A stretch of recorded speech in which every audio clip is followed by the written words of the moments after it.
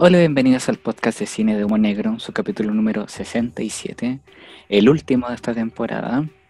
Eh, mi nombre es Angelo Llanes, estoy junto a Claudio Tapia y Simón Arias. ¿Cómo están, chiquillos? Hola, bien. ¿Y tú?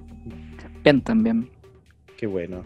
Sí, hoy día vamos a hablar de Mulholland Drive de David Lynch y The Tenant de Roman Polanski. Dos películas propuestas por, por Claudio esta semana. Eh, así que partamos inmediatamente con The Tenant de, de Polanski. Ya, Así vamos que- con The Tenant. O Le Cuéntanos. como se conoce. Yo Claro. quería ocupar The Tenant porque es la versión en inglés. Esta, esta es una película que se filmó en francés y en inglés. Es muy extraño, no es que se- solamente se haya doblado, se, filma, se filmaban dos veces las cosas. Entonces, la única versión que anda es como la que está en inglés, entonces preferí ocupar The Tenant. Mm, O El Inquilino se llama en, Claro. ¿ya? Bueno, voy con la sinopsis. Anoté una sinopsis, obviamente. Eh, es un oficinista muy piola y quitado de bulla que arrienda un departamento en París. En el inmueble, su antigua arrendataria cometió suicidio y pronto comenzará a sufrir el acoso y la mala onda de varios de sus vecinos, donde se le acusará de ser ruidoso y escandaloso. De esta forma, Tchaikovsky irá recorriendo un camino cargado de paranoia y situaciones que lo llevarán al límite de su tolerancia y cordura mental. O cordura nomás. No, era como innecesario decir mental, supongo. Sí, Está, Cordura está bien. cordura. Súper. sí, O su, salud mental. su estado mental también, ¿o no? Ya, su locura nomás. ¿Quién la vio por primera vez? ¿Ambos? Yo sí. ¿Y qué pensáis? Pensé en, Repulsión, pensé en el bebé de Rosemary y claro, después me entero que, que las han juntado, que no, no, no, no, no, no son, no es una trilogía como eh, intencional, pero sí las han juntado y me acordé mucho de esas películas mientras las veía. Dos películas que, que, que igual me gustan harto. Disfruté este viaje hacia la locura de- del protagonista, de Tchaikovsky. Y me llamó la atención como, eh, como todos los personajes que, que rodeaban a, a este señor. Son, son bien particulares todos. Sí. Y no la, di- la disfruté harto, la, la verdad. Es extraño como hacia su final, hacia, hacia, hacia lo que se llega a convertir el protagonista, o cómo es empujado hacia, hacia su locura. Pero todo lo que estaban pasando entre medio eh, me pareció bien interesante. Y eso, siento que los personajes como que estaban alrededor me, me gustaron harto, como todos los, todos los, los vecinos. Eh, pero yo la disfruté. Y, eh, de hecho no, no la conocía, no sabía ni siquiera su existencia. Me la salté en la filmografía de Polanski. Y disfruté ver- verla esta vez. Simón, ¿tú la viste por primera vez o ya la habías visto? No, yo la había visto eh, muy, muy chico. No, no era adolescente. Y no me acordaba de muchas cosas, pero me acordaba del, del, final. Y recordaba que la había encontrado muy, muy, muy rara y que como que no me había gustado mucho. Como que había sentido algo que como que no, no, no terminaba de cuajar. Y me pasó algo similar ahora, pero la, la, la aprendí a valorar mucho, mucho más eh, creo que lo- algo que encuentro medio inconsistente y que algo que siento que no se repite en sus otras películas de la trilogía de Departamento, digamos, es como el, el sentido del humor extraño que hay en esta película, Sí. que es muy, es muy extraño, porque hay, hay momentos en que, en que siento- sentía que, que la comedia era medio no intencional, como por ejemplo, voy a citar una escena en específico cuando Roman Polanski, porque eh, un, un detalle interesante es que esta película la protagonista, la protagoniza Roman Polanski, Claro. actúa, eh, hace, hace del, de protagonista. ¿Cómo se llama? Eh, Tchaikovsky. Él, él, filo. Él va, en esta escena, va al hospital a visitar a la, eh, a la, a la ex inclina y se encuentra con la Isabela Gianni y como que tienen este diálogo como medio extraño, como que Roman Polanski no se atreve a decirle la verdadera razón por la que está ahí. Y empieza como a, a joteársela muy piolamente y la chiquilla que está, que la, la antigua inquilina empieza a gritar cuáticamente y siento que esa escena como que estaba construida como para ser como tensa y, y terrorífica, pero yo me cagué de la risa, la encontré Sí, muy. Entonces dije, pero esta película entonces, ¿qué, ¿quiere ser chistosa o, o no? Y entonces, y después tiene estos momentos de, de comedia ridícula, como cuando Roman Polanski va bajando la, la escalera con la bolsa de basura y como que se le van cayendo cosas, y, y es todo muy ridículo. Entonces dije como, esta película está rara, po, está, tiene, tiene estas cosas que no- uno no está seguro si es intencional o no. Al final dije como, ya filo, voy a, voy a tomármelo como venga nomás, y se me da risa, voy a decir es chistoso nomás. Y, y eso me hizo disfrutarla harto más, a pesar de que igual siento que igual las cosas que no me gustan mucho, como particularmente la actuación de Roman Polanski, encuentro que, no sé, no me gusta, o quizás no me cae bien su personaje. O Roman Polanski. O Roman O bueno, también. No, igual te tiene como de, dije, ah, esta película es pre-acusación de violación, entonces ya, voy a, voy a, voy a ser más amable con Roman Polanski, en esta Sí. película en particular. Hay unos Y- momentos, de hecho, eh, cuando conoce a esta, a esta mujer, que van caminando y el weón pisa caca. No sé si se fijaron en esa parte, pisa caca y se pone a limpiar. La weá entera loser, po, weón. O después cuando van al cine y empiezan a agarrar, weón, de la nada, loco, así empiezan a agarrar, pero a, agarrar rígidos. como- Y si, no, y si alguien no los mira, como que los buenos hubiesen seguido. Sí, Sí, yo, creo que, yo creo que en ese sentido es como, podríamos decir que es como un humor coeniano en pañales. Sí, y que a lo mejor, a lo mejor por eso no, decir.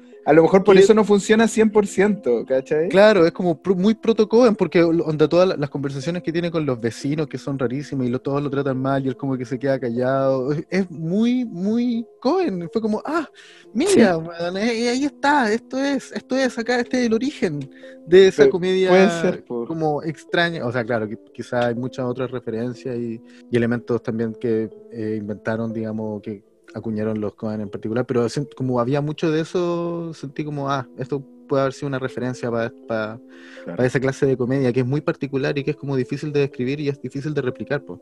Entonces fue muy interesante eh, como hacer ese, ese pequeño descubrimiento. Claro, y el, Sí. grafi- el gráfico rítmico que tiene la, la película también es, va de menos a más. Pero no, como que no, no tiene, no tiene momentos de, de bajar, de subir, es como siempre una intensidad hacia arriba. Eso es lo que a mí me gusta de esta película, que parte desde muy abajo y termina en su máxima expresión, ¿cachai? Sobre todo con ese final, weón, que es un final que, que también es muy divertido, pese a lo que está pasando. Sí. Es como tú decís, weón, este weón está subiendo de nuevo para hacer esta weá de nuevo, ¿cachai? Es como cabreate, concha tu madre, weón. Tenía un medio escándalo, weón. Eh, eso me gusta mucho. Y me gusta mucho también la. A mí me gusta demasiado esta película en el sentido de que, bueno, primero es una película que vi hace mucho tiempo y que dije, weón, esta es una de mis películas favoritas de Polanski, pese a que es la, una de las menos conocidas, ¿cachai?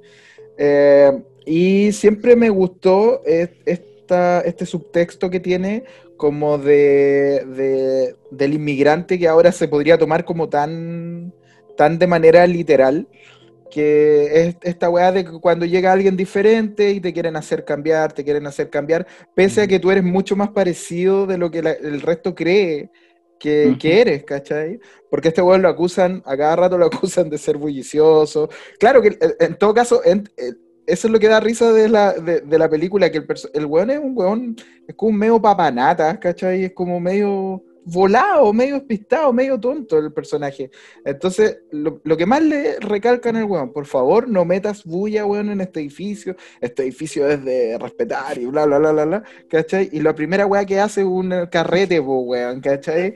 Y con la media con bulla. Y con sus amigos ahueonados de mierda encima. Que son como compañeros de trabajo, más encima, ni Sí. siquiera son como amigos así del weón, como neto, así como buena pana, ¿cachai? no, son como compañeros de trabajo, donde hay un weón que es un conche su madre. Bueno, bueno, en fin. La cosa es que eso, pues entonces como que también veo como ese subtexto de como la primera impresión que tienes de alguien, ¿cachai? Ujú. El weón dejó Ajá. esa primera impresión y pese a que el weón no era así, no era un fiestero, no era bullicioso, el weón era muy piola y si el weón metía bulla era por accidente, ¿cachai? Al tiro lo catalogan y lo etiquetan de que es un weón súper eh, escandaloso. Eso, eso me gusta mucho, me gusta mucho. Creo que es muy inteligente tanto el guion como Polanski para, para contarlo. Eh, y, y por eso por eso me gusta mucho. Sí, yo no había hecho la, la, la relación de la comedia de los Coen y es muy cierta.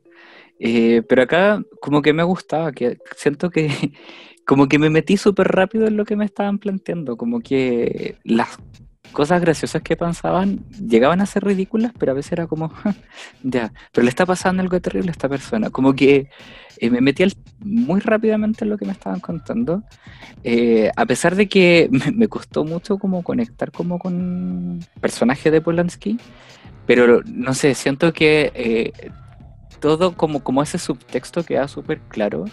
Y, los vecinos y el resto de los personajes me tenían desesperado y cuando ya llegas de nuevo como al, final y, hacerlo como de nuevo, yo estaba así como, pero qué terrible, a pesar de que era como gracioso, como, pero señor, ah, qué terrible esto.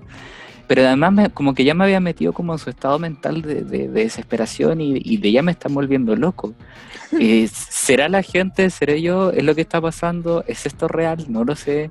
Eh, y eso, eso me, me, llamó harto la atención. Sí, eso es bacán del final, que es muy, muy ambiguo si, o sea, yo igual tengo mis teorías respecto a si estaba o loco o no, si eran los vecinos los malos o no, quién estaba realmente metido en el complot, si existía este complot, qué rol tenía el edificio en sí, eh, el departamento, el baño del, del, del, frente, como que hay muchos elementos que, que uno puede sentir cierta conexión pero como esa conexión nunca queda completamente explicada, queda, queda abierto a la interpretación de uno. Y al final como que es finalmente que si, si uno lo extrapola más y considera esto como una metáfora de la experiencia de un, de un inmigrante o de cualquier extraño que llega a un lugar, como que qué es lo que vuelve loco a una persona, es la gente o el, aislamiento o, la, o es el mismo lugar, no sé, son como preguntas interesantes que uno puede quedar de la película. Y también me gusta mucho, ya fuera de como reflexiones más como temáticas de la película, eh, la estética y la atmósfera de la película también me gustan mucho, el, el suspenso y como esta, esta visión como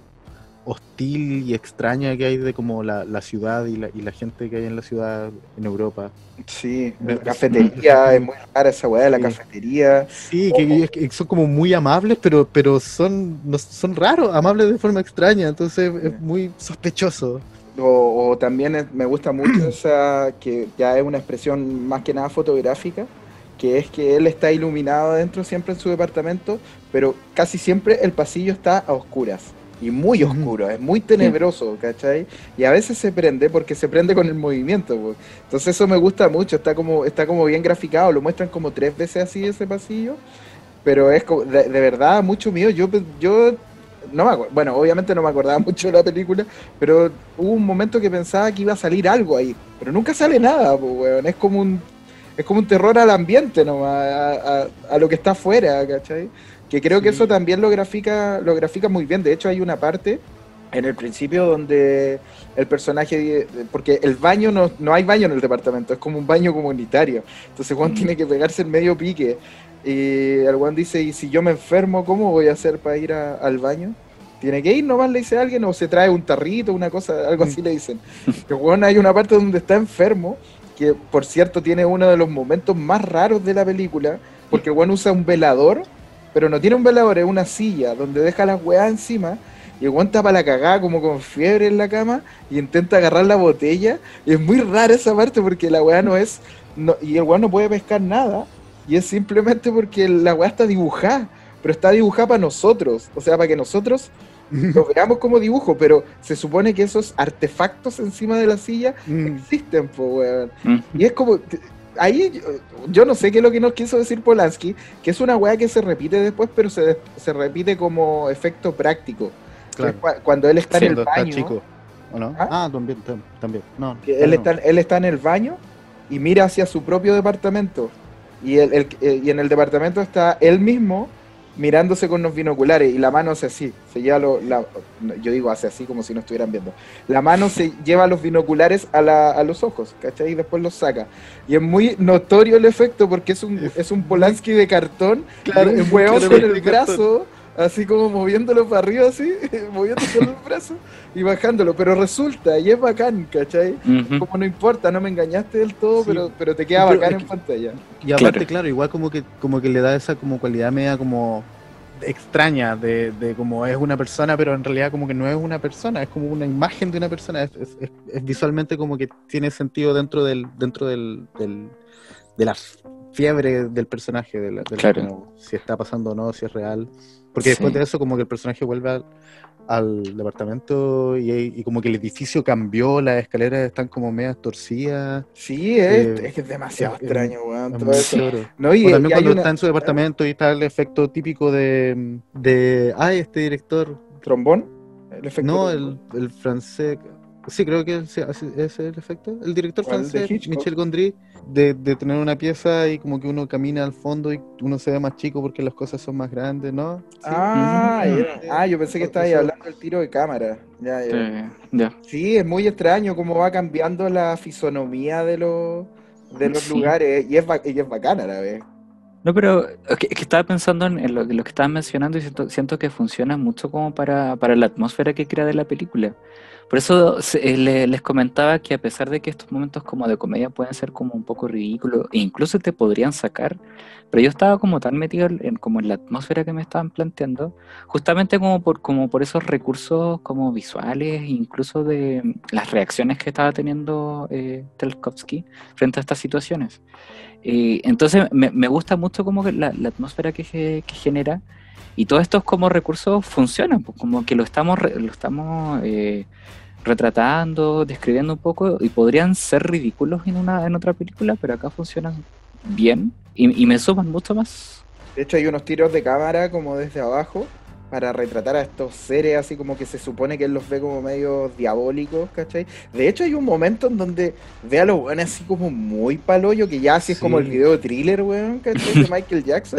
Y hay una, una vieja saca como una, una lengua así como de serpiente, así, Sí, weón, en la raja esa weá, weón. sí. Y, y da miedo, o sea, o sea, no da Sí, miedo, pero se te paran, con- se te eriza un poco la piel con esa weá, ¿cachai? Generan mí- cosas. A mí el momento que me hizo, me hizo, que realmente me, me- me afectó, como me, me produjo escalofrío, fue cu- cuando ve a la, a- cuando mira para abajo al, al, al patio interior del edificio y ve a, la- a todos los vecinos reunidos como Sí. con una, con una vecina eh, amarrada y a la otra, a la niña le están poniendo una máscara de, de él.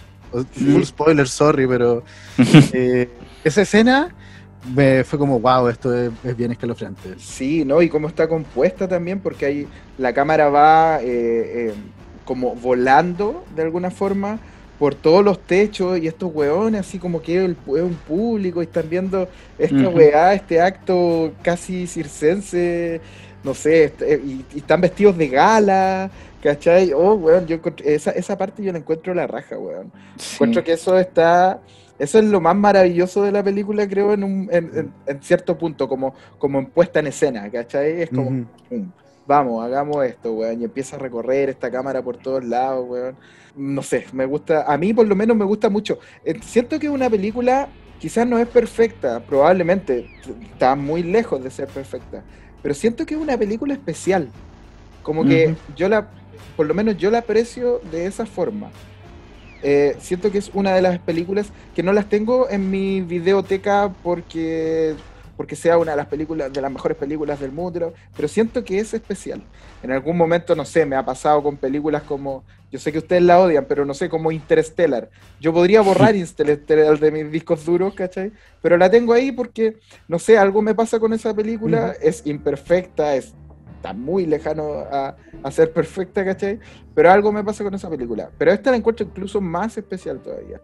Encuentro que es quizás es porque tiene que ver como con este Polanski que ya tiene como control de todas sus virtudes cinematográficas, con el Polanski que es como más visceral, más amateur, ¿cachai? Creo que está como ahí al medio y a lo mejor por eso se me hace especial. No lo sé, weón. Ujú. Sí, Mm. te encuentro razón, siento que tiene mucha mucha personalidad y toma como muchos riesgos, como que se siente hecha... Sí.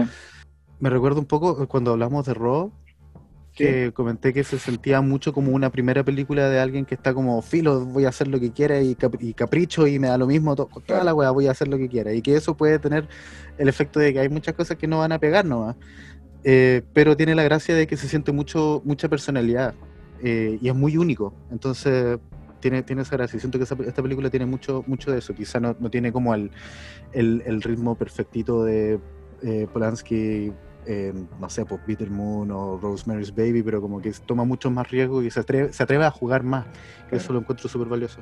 Sí, no, yo también la encuentro bien, bien particular, como que me, me gustó descubrirla ahora, porque siento que está armada como con, como con vísceras, como que siento que eh, la propuesta como de lo que quería provocar a lo mejor en el público se logra, pero como, como con elementos simples o, o, o hecho como no sé, pareciera que estuviera como, como esta de improviso, pero está súper bien pensada y eso como que se transmite. Entonces la encuentro bien, bien particular. Sí, oye, hay una parte que me dio mucha risa, pero es como por las consecuencias que podría tener, que nunca las vemos, que es cuando el weón le hace cagar el departamento a la ratita, weón. Ah, sí. Puta Pobre Isabel Gianni, la mujer más hermosa del mundo en los 70. Y Sí, este po. weón va y hace mierda. Y basado en una weá nomás que vio, weón. Claro.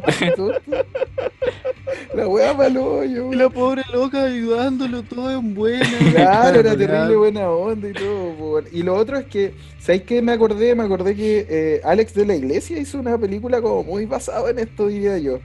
No, eh, no la recuerdo bien, pero no, quizás Mm. estoy equivocado, pero recuerdo que la comunidad se parecía mucho eh, a esto, a este como acoso de vecinos que había. No sé, me lo recordé ahora. Pero es que es buena idea. Sí, Es una buena idea tener todos estos personajes metidos en un, en un edificio. Sí, sí, siento que todos nos hemos enfrentado a esa situación de tener vecinos raros, metiches y con los que uno arma relaciones extrañas. Bueno, a mí me llega desde el doble esta película porque justo estoy en proceso de cambiarme de departamento y no sé a dónde voy a llegar, weón, ¿cachai? Puta, no sé, yo no soy escandaloso, pero capaz que me tilden de tal y me vuelva loco y Claro. me suicide desde el tercer piso. Dos veces. Ya, ¿La recomiendan entonces? Sí, yo lo recomiendo. Sí. Sí, sí, de todas maneras la recomiendo harto. Ah, bacán. Oye, esta película, todo esto, era una película que no era de Roman Polanski. Estaba pensada para otro director, el director del Gran Gatsby. No sé si lo recuerdan. Sí, sí. Creo-. Jack Clayton, algo así se llamaba, creo lo, lo había notado yo por acá. Claro, Jack Clayton. Y él la iba, él la iba a hacer, pues él la iba a filmar, iba a escribir el guion y todo. Pero se puso a hacer el Gran Gatsby, eh, se demoró en la postproducción del Gran Gatsby y el estudio decidió buscar otro director y se la dieron a Roman Polanski y Mm. ahí él escribió el guion con otra persona y, y lo cagaron. Pues, bueno. Y este director, Jack Clayton, estaba muy enojado porque sentía que era la gran película que, que podía escribir. Ah, y, y lo otro que no dijimos, otro dato, que es una película que está basada en Le Locataire Quimi- Quimérique, o el Quimérico Inquilino, que es el, el libro de, perdón, se me olvidó el autor, eh, de Roland Topor, que lo escribió en el 64. Ujú. Y le pusieron, al final le pusieron Le Locataire nomás o el inquilino, porque como que nadie iba a entender eh, la palabra quimérico, que en, en realidad la traducción de esa palabra es imaginativo. Mm. Entonces iba a ser como una confusión. Y eso son como datitos que ahora averigüé en- hace poquito. para este podcast. Ya, y yo obviamente también la recomiendo, por algo la traje y como que eh, pude confirmar de que sí era una película muy especial y que era totalmente entretenida y recomendable y todo eso. Eh, pasemos a la siguiente película entonces, Don Angelo, que es Mulholland Drive de David Lynch. Así que. El Camino de los Sueños, como le pusieron acá. Ah, sí, ah, no, cachaba su nombre, su nombre en Sí, español. así le pusieron acá. Pero era Mm. como, era como extraño, porque se llamaba El Camino de los Sueños, pero como que en los medios se trataba como de Mulholland Drive, El Camino de los Sueños. Va a Mm, ser más complicada la wea. Como, Claro. como si no fuera complicada la película misma. Incluso más. Sí. Eh, ya, voy con la sinopsis entonces. ¿Sí? ¿No? Sí. Sí, sí. Sí, sí. Ah, ya. ok. Eh, Betty es una joven aspirante actriz que llega a Los Ángeles para convertirse en estrella de cine y se aloja en el apartamento de su tía.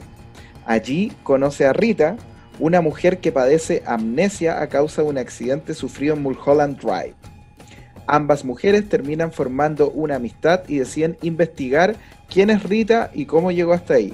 Paralelamente, hay un director de cine que está luchando con los ejecutivos del estudio dueño de su película para que no le impongan a la actriz protagónica. Es lo mejor que pude hacer, de hecho le robé mucho a Film Affinity porque tenía una muy buena sinopsis. Eh, creo que esos son los personajes centrales como para entender. Ujú. De hecho, añadí al director porque tiene como que ver en muchas partes bacanes de la película, pero, pero en, la trama, en la trama central no, no, no tiene mucha injerencia. Aunque sí, pero Hasta- tampoco- claro, claro, hasta el final. claro. Sí. Así que eso. Eh, ah, me- tengo miedo, weón, tengo miedo, Torero. Eh, me da miedo hablar de Mulholland Drive. Eh, Debo decir que eh, hasta antes de verla de nuevo era mi película favorita como de la vida. Y después de verla sigue siéndolo. Entonces tengo miedo, tengo miedo de hablar de esta película. ¿Quién la vio por eh, segunda vez? Porque todos la vieron antes, ¿o no? Sí. Sí, Ya. sí, yo la vi por segunda vez. Creo que no la había visto antes. O sea, sí, segunda vez. Sí, yo también segunda vez. ¿Qué les pareció? Chan, Eh. chan, chan. Wow. Ah, ya, voy a, voy a lanzarme. Eh, me gustó más que la primera vez. Me acuerdo que antes como que mi, mi película favorita de como estas películas de David Lynch que siento que son como de la misma raza de películas, como eh, Inland Empire y Lost Correcto. Highway. Carretera perdida. Apuesto que Carretera perdida era tu favorita. Sí, claro. Sí, pero ahora como que vi esta y dije, no, real- la verdad es que esto es como claramente la, la versión evolucionada y como que se sienten mucho más refinados los, los elementos narrativos que usa David Lynch y cómo se van cruzando para contar una historia que también es mucho más clara. Me acuerdo que leí, leí alguna vez que David Lynch dijo que esta era como su película más lineal, era como, es como una historia relativamente simple, no sé por qué la gente lo encuentra tan extraña. Igual me debo decir que me, que me pasó que mm, la sentí como que la entendí, fue como que la, la terminé la película y dije, "Oh, weón, me siento un genio, entendí una película de Lynch, soy un, un- un máster crítico de cine. Eh, eh, eh, eso y eso es algo que no, no pasaba con que no me pasó con Inland Empire y Lost Highway que son como siento los referentes más cercanos Eh, y desde ese punto de vista la siento que creo que también es, es mi, es mi favorita de, de esas tres quizá no es mi favorita de David Lynch pero definitivamente es mi favorita de esas tres que siento que tienen esa Apuesto como que yo sé cuál es tu favorita de David Lynch. Y Razorhead. no, no, para nada mi favorita es Blue Velvet ¿En serio? sí porque sí una sí Buena. Yo pensé que era Era- Eraserhead. Pensé que erais de ese, de ese no, grupo. No, yo soy un weón mucho más, más normal, más, o sea, más normal, normal. más, más normie con mis gustos. Ya, Eh, Don Angelo. Ah, perdón. Pero, eh, ah, no, sí, no, ¿qué, qué No, no, dale. Eh, es que después voy a empezar a como hablar de cosas específicas, entonces, pero preferiría escuchar qué- cuáles son las generalidades de tu opinión. Sí, sí, eh, esta segunda vez que la veo y cuando la vi la primera vez la vi como con, con esa idea de esta película no se va a entender. Y claro, no la entendí, pero porque me dejé llevar por ese no se entiende. Pero me gustó mucho y se transformó en mi favorita de David Lynch. Y ahora que la vi de nuevo, me pasó algo similar de entenderla, pero más que entenderla, creo que como que le saqué el, mi rollo, como que fue como, esta película no está hecha para ser entendida, y ese proceso es lo bacán, es como, como que no estoy tratando de entender algo, sino que me estoy dejando llevar como por toda esta magia que me están presentando. Y, me gustó mucho más ahora. eh, la confirmó como mi favorita de, Lynch. Eh, siento que tiene momentos bacanes, me hace pasar como por todas las, las emociones. Tiene todos los elementos como de, de Lynch y como de... mm, Estoy de acuerdo que está como... Es como los highways como depurada y está como media Twin Peaks depurada, como que no sé, como que el- conecté también como con, con el, estilo como de, de actuación, de diálogos, como que las, las, quise mucho a ellas dos. No, me gustó mucho verla ahora y este estado como de ensona- ensoñación en el, en el que, que me dejó. Entonces ya cuando, cuando terminé fue como, wow, disfruté mucho ver esto de nuevo sin tratar de entenderlo, como que no, no sé si es el objetivo y, y creo que por ese lado me llegó ahora, como no tratar como de, de cachar bien qué estaba pasando, sino como de, de disfrutar cómo me lo estaba presentando, que es lo que suele hacer él también, entonces como que siento que por ahí va y no, la disfruté mucho más en, en esta segunda vez, así que eso como en términos como, como generales. Es cuático como eh, te cambia el nivel de conciencia. No digo que sea más alto o más bajo. Es como que tu conciencia no queda en el mismo lugar por el camino que venía. ¿Cachai? Es como que te lo pone en un camino paralelo. Es una weá muy extraña de, de describir.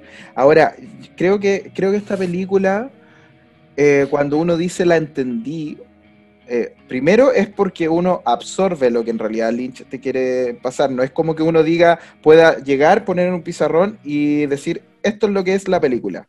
Como yo hace poco vi Tenet, y Tenet es una película que ese ejercicio es el único que se va a hacer. El de decir, esto es lo que esta película se contó de esta forma y esto es lo que quiere decir.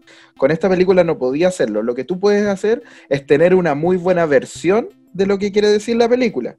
Porque, y creo que todas las versiones son tan valorables como válidas. Eso es muy cuático, eso es lo que yo pensaba ayer cuando terminé de verla. Y también sentí como que la entendí, pero obviamente la entendí como en mis términos. Yo mm. tengo la propia historia, yo, yo la tomé como desde cierto punto de vista y digo, ok, esto me hace eh, eh, me, me, parece lógico tratar la historia de esta forma y decir esto se trata de esto. Yo lo veo como desde el punto de vista ya voy a decir mi, punto de vista, ya eh, no, es que, no es que me esté yendo como por las ramas. Lo que pasa es que hay tantos momentos que son tan decidores y tan bacanes, weón, ¿cachai? Que de repente tú decís, ok, esto se me sale un poco como de la historia que estoy llevando yo en mi cabeza, pero da lo mismo, weón. Eh, de hecho, incluso hay unas mm. partes muy chistosas que también tienen que ver con la película, pero no tienen que ver como este sicario que al principio cómo lo, cómo lo presenta David Lynch. Ahora, creo que ese, ese es un punto que no me sacó de la película ayer, porque la vi ayer, y, pero sí sentí que me daba como ciertas pistas. Porque, bueno, no sé si la gente lo sabe, pero esta película iba a ser una serie. Este era el piloto de una serie de David Lynch, que era un piloto como de una hora y media, donde iba a ser esta serie para la, para la ABC, los ejecutivos de la ABC la vieron, dijeron, esta weá una mierda, ¿cachai? Nunca más va a salir y bueno, filo, perdimos la plata del piloto y chao, nomás se guarda. Entonces cuando esta Estudio Canal, que es el, canal francés, o, estudio, no sé qué es lo que es, ¿cachai?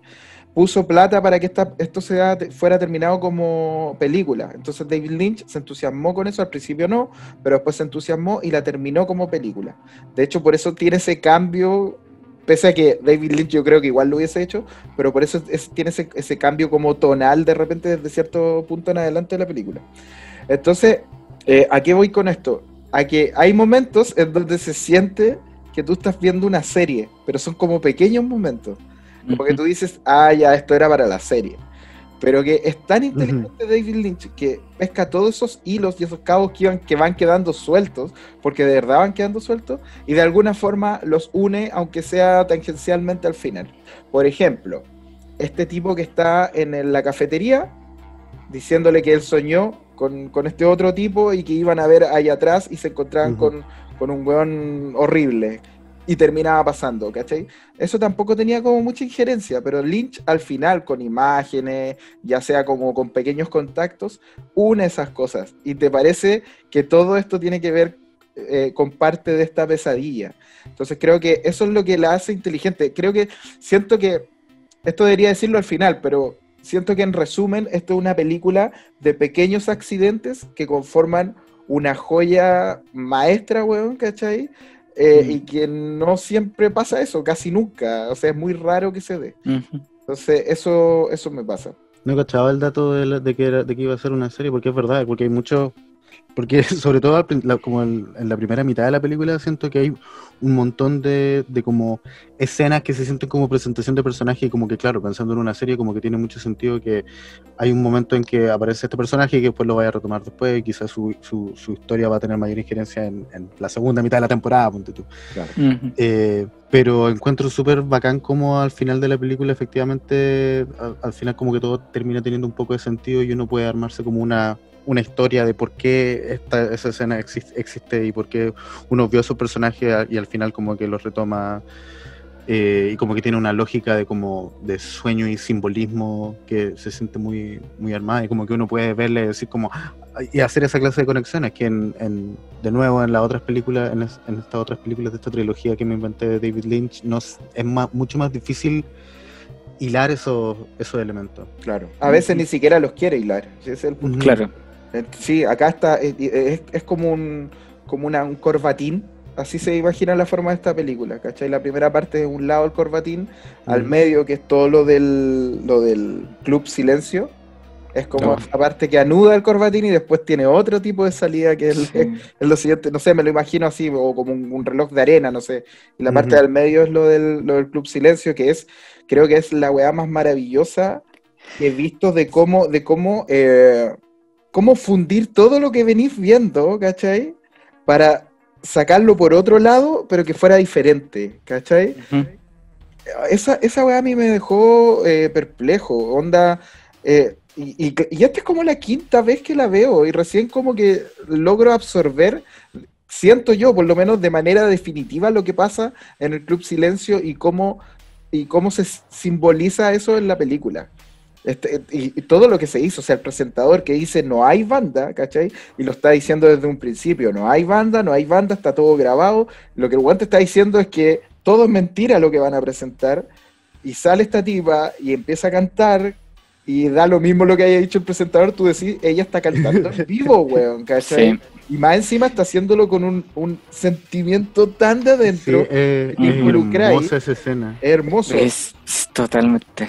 Y que después ella se desmaye y la canción siga y te vaya la chucha, como se van los personajes que están mirando este, que la- la- la- las dos personajes principales que están mirando este espectáculo, esta, esta mujer cantando ahora en el suelo, ¿cachai?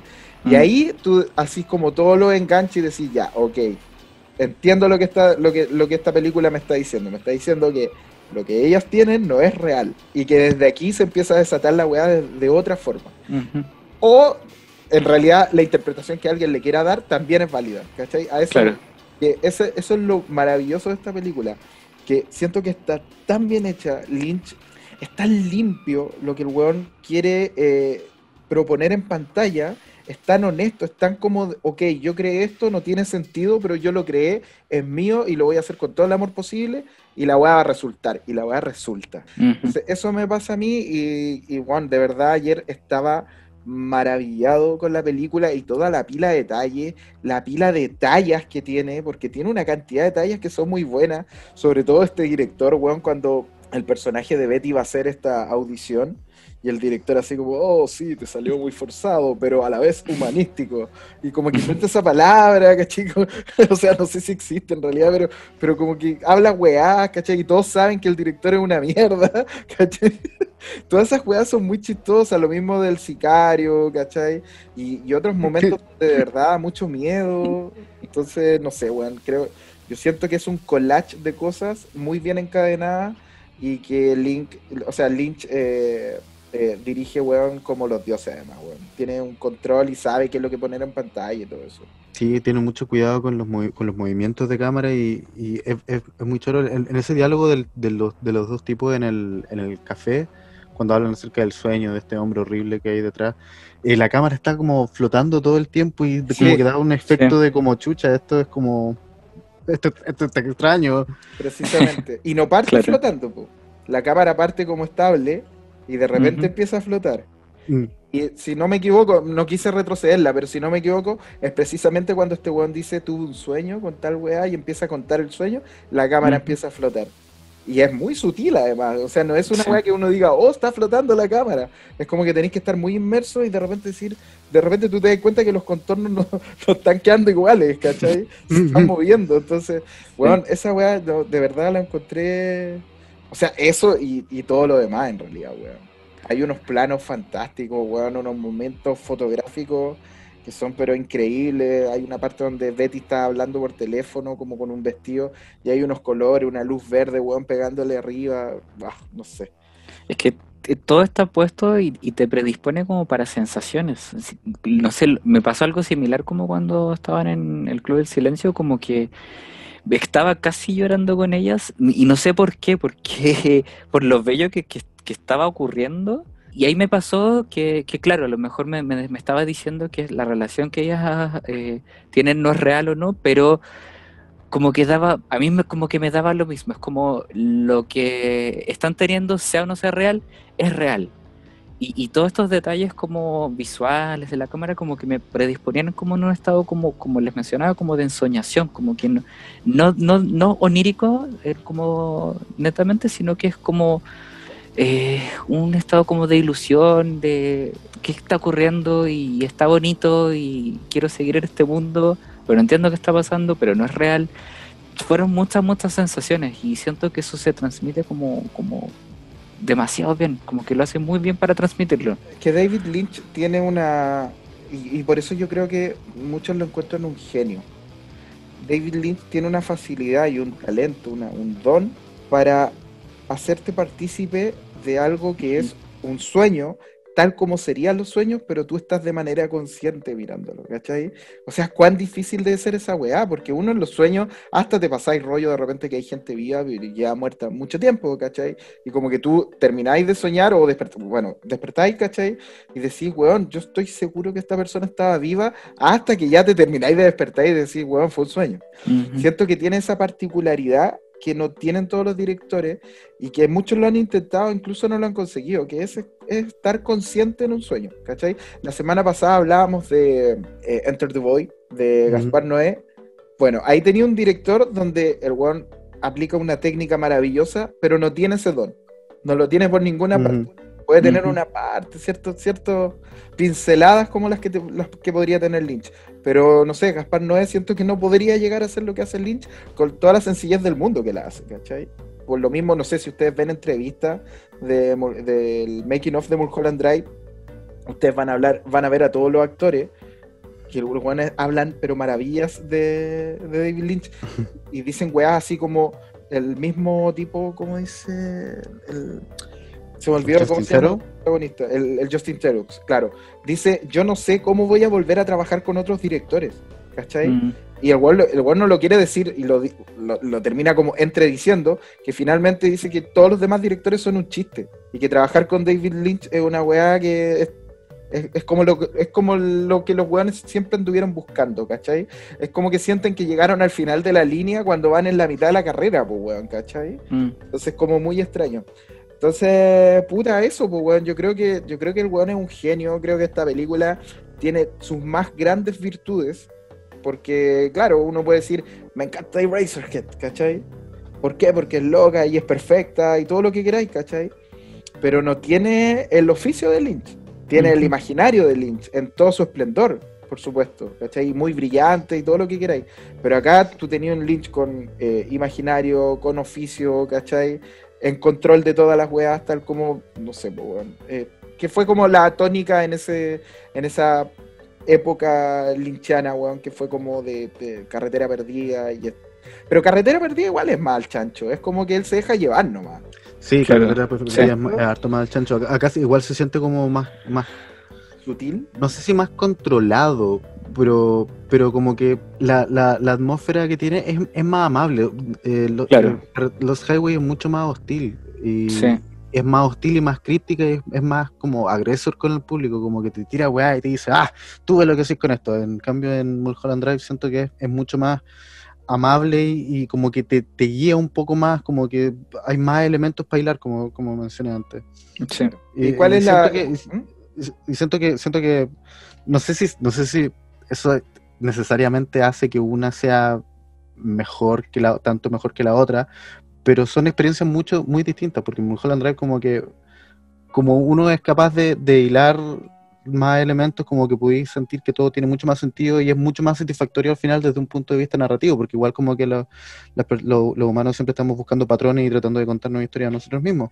Entonces es mucho más satisfactorio, siento yo, para mí personalmente, eh, el final de Mulholland Drive, cuando uno dice, ah, ok, entonces, como que creo que esto más o menos es lo que pasó. Eh, Lost Highway es como, wow, wow, que acabo de ver, increíble, ok, la raja. Pero Sí. siento que Mulholland Drive es más significativa eh, en un nivel como más íntimo y, personal. Claro. Y aparte que la, la historia que, por lo menos la historia que yo me, que yo me inventé, es súper triste. Entonces yo fue como que terminó y fue como, oh, Yo quiero escuchar tu historia, así muy brevemente. ¿Qué es lo que, ¿De qué se trata esta película? Ya, voy, alerta de spoilers, porque sí, que la, la, la primera mitad de la película es como una especie de sueño fantasía que se armó la, la, la Diane, la, la actriz que es de la segunda mitad, que es la Naomi Watts, después de haber, de- después de haber terminado esta relación súper penca que tuvo con esta otra actriz y que la, después de haberla mandado a matar y entre toda la culpa como que se inventó toda esta fantasía en que ponte tú, en que tenían, en que primero se enamoraban y eran como felices. Eh, la razón por la que ella no podía agarrar un papel era porque había una mafia de, de weones que estaban forzando a un director a meter a la actriz que eligieron en vez de ella. Entonces como que hay un montón de elementos que como que eh, de elementos medio simbólicos que se dieron como en lo, en lo, en la realidad, digamos, que es como esa segunda, esa segunda mitad, que termina cuando ella se suicida ¿Ya? ¿Y por la culpa. ¿Tenía alguna Eh, versión o te dejaste llevar? No. Sí, no, sí tengo. O sea, primero creo que, que era un sueño, pero después, como el, el rollo que me inventé y que me dejó como más, más satisfecho fue como eh, dos mundos paralelos. Es como la misma versión de, de dos personas. La historia eh, de dos personas en, en dos mundos, ocurriendo al mismo tiempo, quizás. Así como, no sé, como casi como un Rashomon de, mira, esto les pasó a estas chicas, no, esto les pasó. Entonces Oye. sí, la, si- la siento las dos verdaderas, así como dos historias que realmente ocurrieron, pero al mismo tiempo, o, o una después de otra, no sé, pero eh, universos paralelos en mi teoría. Sí, a mí me pasa un poco parecido. Eh, yo la tomo un poquito más literal como el, el principio, que es eh, después del, del primer choque que vemos que es la primera escena en pantalla, siento que Rita está muerta, finalmente. Está muerta y, y siento que em, Betty, ¿Betty se llama? Puta, ¿cómo, Betty. cómo está el Betty la, Ya, Betty es la Betty, Naomi ya. Watts. Y Betty también está muerta, así tal cual. Y están de alguna forma eh, tratando de encontrarse de- después de haber tenido una vida en, en una vida terrenal. Y siento que la Mm. primera parte tiene que ver como con ella eh, cruzando este limbo nomás. Eh, y la segunda parte es como un poco más real, eh, más aterrizado más a lo que pasó, ¿cachai? Pero aún así como con estos simbolismos que no tienen que ver como con la, con la realidad, pero solamente para darle simbolismo nomás, ¿cachai? Como para darle Mm. significado.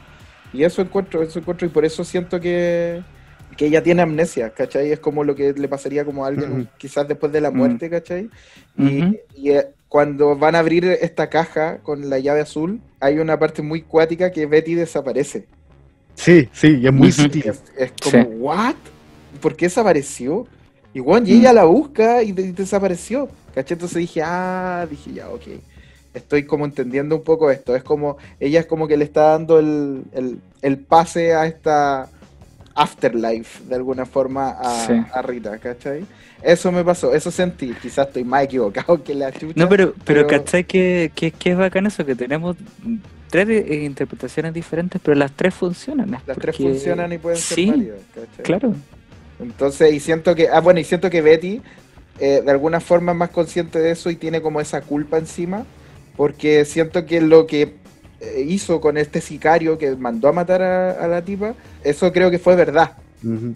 Siento que fue verdad, entonces como la culpa, es como verla al revés en todo caso, es como, siento que Claro. podríais tener más, te podría Mm. tener más sentido viendo de la mitad para adelante y Claro. viendo la primera mitad, ¿cachai? Sí, Pero obviamente perdería toda la gracia de la película. sí. eso, esa es mi versión. Oye, nos pasamos caleta en el tiempo, pero bueno, lo vale. Aparte es la última Sí. película, así que ya el último podcast, no importa. Del, el último de Último la- día nadie se enoja. Sí, ya, entonces la recomiendan. Yo creo que todos dicen que sí. Sí, Total y absolutamente, sí. Yo también. Creo que es, no sé si es la mejor película que he visto en la vida, pero por lo menos a- ayer confirmé de que es, creo que es la que más satisfacción me causa, weón. Siento que no tiene nada de más. Y Robert Foster aparece en un minuto, además, Mm. en un papel de mierda. ya, oye, eh, pasemos a las recomendaciones entonces. Ángelo, ¿trajiste algo? Más que recomendaciones, traigo menciones a recomendaciones que ustedes ya, habí- ya habían hecho. ¿Ya? Vi eh, Possessor de Brandon Cronenberg y me gustó mucho, mucho. Eh, wow, qué experiencia esa película. Eh, todavía me queda dando vueltas, así que si pueden verla, háganlo. Y la que más eh, recomiendo, que ya había mencionado también, es El Agente Topo de Metal Verdi.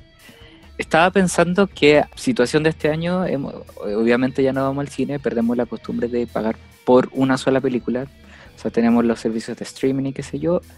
Y esa sensación de eh, haber pagado una película y quedar completamente satisfecho como con lo que viste, no la sentí hace tiempo. Me hizo pasar por todas las emociones y eh, un documental muy, muy bonito. Así que si pueden hacerlo, si pueden invertir en esa película, háganlo y la sigo recomendando mucho. Así que eso, eso tengo para. O sea, es unanimidad. Y obviamente va a estar en nuestras películas del año. Que eso hay que avisar por si acaso. Eh, cuando está saliendo este podcast, quedan poquitos días para que salga el artículo, o posiblemente si ya lo están escuchando después, ese artículo va a estar ahí. Tenemos alrededor de 30 películas como lo mejor del año.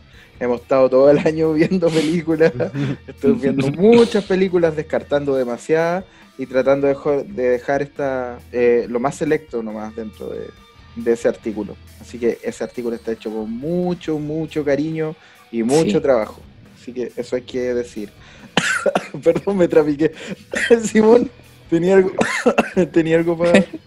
Yo tengo una recomendación a medias. Es una película de Amazon que se me había olvidado recomendar hace tiempo, que la vi hace como un mes, que es The Autopsy of Jane Doe, mm. del año 2016, con Emil Hirsch. Que me acuerdo que haber visto como el tráiler en YouTube y dije, oye, que es un seteo interesante. Es acerca de una, una autopsia a una mujer extraña. Jane Doe es como el nombre que le ponen como personas que Juanito Pérez. Claro, es Juanita, Juanita Pérez en este caso. Claro. Y como que le empiezan a, a hacer fulano de tal, puede ser. Claro, fulano de tal. Exactamente. Y le empiezan a hacer la autopsia y empiezan a cachar que hay algo raro con este cuerpo. Y empiezan a sufrir eventos paranormales los, los eh, autopsiadores, no sé cómo se dice, los forenses. Los forenses. Eh, es bien, es, es, bien entretenida, hay hartos momentos que dan susto y es interesante la atención que se va generando a medida que van como, como descubriendo cosas extrañas acerca de tu cuerpo y como que a pesar de que no hay nada como demasiado terrorífico ocurriendo en pantalla, eh, como que eh, resulta cada vez más inquietante los descubrimientos que van teniendo el cuerpo. Entonces es muy interesante y dura su, que su hora y media, no es tiempo perdido. ¿Y tenía algo más, Simón? Nada que realmente tenga ganas de recomendar ni mencionar siquiera. Ah, ya. Tú puras malas nomás. Oye, eh, yo quiero cambiar el, mis recomendaciones por algunas palabras que quiero decir, si es que me lo permiten, no sé. ¿Me dan permiso? Adelante. Por supuesto. Puta, quiero irme en la profunda. Quiero decir que este ha sido un año duro para todos, probablemente en distintos grados, pero igual ha sido difícil por lo que nos ha puesto el destino como humanidad. Po y sobre todo por el asunto de la pandemia me refiero. Me gustaría decir que personalmente este podcast, al que llegué como reemplazo, eh, le empecé a tomar cariño y que luego se volvió en el punto más entretenido y esperaba mi semana. Eh, ha sido un elemento y una compañía con la que no contaba y se transformó en algo muy valioso en mi vida. Eh, además me permitió ir conociendo mejor a personas como el Iñaki, como el Seba, pero principalmente a estos dos muchachos que me acompañan, que son el Simón, que era el pájaro nuevo de Humo Negro cuando comenzamos este podcast y con quien quizás no habría logrado este nivel de conexión si solo hubiésemos trabajado de manera virtual, escribiendo textos, como se suele hacer en la sección de cine. Eh, y el Ángelo, quien está con nosotros desde hace varios años y a quien tampoco eh, habría conocido en profundidad como creo que lo ahora lo conozco. Y tal vez me habría demorado un tiempo más en comprender la bellísima persona que es si no hubiese sido por este programa. Eh, no sé si es recíproco por si acaso, pero al menos esa no es mi intención al establecer esto. Eh, pero creo que estas son de esas cosas que en la vida hay que decirlas y no esconderlas en silencio puta, digo todo esto no solo porque se está terminando el año y porque este sea el último capítulo de la temporada, sino que también porque así como este programa se volvió algo importante y especial para mí, eh, espero que lo haya sido y lo esté siendo para ustedes, las personas que nos escuchan, y que son poquitos, es verdad, no, son muchos, nosotros no somos un podcast así como, no sé, emisor podcasting y que tiene como mil anuncios por todos lados y depende de un holding y todo eso. Esto está hecho a pulso, ¿ya?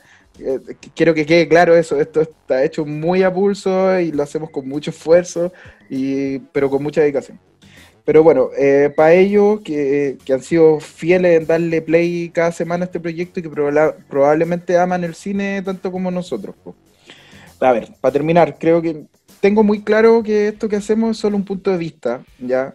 Y no pretendemos tener razón en lo que hablamos, eh, pero créanme que lo que sí puedo asegurar de manera absoluta es que lo hacemos con gran honestidad y sobre todo con mucha humildad. Y espero que eso se note al otro lado de estos micrófonos o de estos audífonos con micrófono. Eh, bueno, está claro decir que volvemos a fines de febrero o a principios de marzo y por supuesto ahí les vamos a estar avisando eh, a través del sitio y las redes sociales de Humo Negro. Y lo único que espero es que sea en un mundo un poco mejor al que tenemos ahora. Así que eso, los queremos mucho. Eso quería decir. No tengo recomendaciones, no porque no las tenga, porque sino simplemente porque quise ocupar el tiempo para decir esto. Ahora, si ustedes quieren decir algo, están a tiempo. Eh, gracias por tus palabras, Claudio. Sí, para mí también ha sido un, un, espacio también de, de, reunión con gente a que, que, respeto y aprecio mucho y, también fue súper bueno poder tener esta ventana durante tanto tiempo en que, en que no, no veíamos a nadie más. Sí, eh, igual ahora se han estado, sí, igual ahora se, han estado abriendo un poco más las puertas, digamos, hacia el exterior, entonces no, es tan difícil ahora eh, interactuar con más gente, pero hubo un tiempo en que esto era prácticamente la única forma que tenía interacción con el mundo exterior y, definitivamente fue súper valioso y también espero que para nuestros escuchas también haya sido valioso poder eh, escucharnos nuestras tonteras y, que haya, haya hecho que sus días hayan sido un poquitito menos, menos oscuros. Sí, eh, sí, también, también les tengo mucho, mucho cariño a ustedes, cabros, y, me alegro de haber tenido este espacio también. Yo estoy agradecidísimo a sus palabras. Me sumo también a los agradecimientos de, compañía hacia la gente, a quienes nos escuchan, eh, o quienes con quienes se van a topar con esto quizás más adelante. Que no va a tener ni un eh, sentido lo que estamos diciendo. Pero no importa, Año 2025. ¿Qué, están hablando? Pero, eh, eh, Eso es lo bonito, que este podcast sea temporal, se puede escuchar cuando, cuando quieran. Y no, yo estoy muy contento de, haber tenido también el espacio, haber compartido con ustedes todos, todos estos meses y de aprender mucho de ustedes. E-, es cierto que este programa se hace con mucha humildad y, siempre llega a este espacio como con, con, las ganas de, aprender, no tan solo como de cine, pero de, sus visiones de, la vida. Y me, me de verdad me, voy con eso y apreciándolos mucho a, ambos y a los que han pasado también por, por el programa. Iñaki, Seba y... No, muchas, muchas gracias. Oye, quiero hacer un alcance. Dije emisor podcasting, no porque yo lo haya escuchado o tenga algo contra ellos. Lo dije porque es la, es la única, el único podcast que reconozco como que tiene avisaje en todos lados, ¿cachai? Y uno al toque escucha como, ¿qué? ¿Podcast? Ah, emisora podcasting. Claro. ya, eso, no tengo nada contra ellos. Aparte, no tenemos nada probablemente igual, pues ellos son hijos del capitalismo totalmente. no, estamos a niveles diferentes. Sí, no, nosotros. Eh, esta, esta weá es como una emisión fantasma en el aire que pescan como algunas personas nomás. Como para nosotros. Contacto, Es más para nosotros, sí. Sí, sí, de hecho. ¿Y quién los quiere escuchar? Bacán. no hay nadie de mi familia, cero personas que escuchen este podcast. Cero personas. O sea, con eso les digo todo. Pero aunque haya una al otro lado, que no es una, obviamente, igual son, igual son varias para como para el tiempo que llevamos, ¿cachai? Pero aunque haya una persona al otro lado, igual lo vamos a estar haciendo y vamos a estar viendo las películas y vamos a tratar de ser lo más profesionales posible. Somos pesados, eso sí, nos escuchamos súper pesados. Somos un amor en, en persona, sí, en todo caso.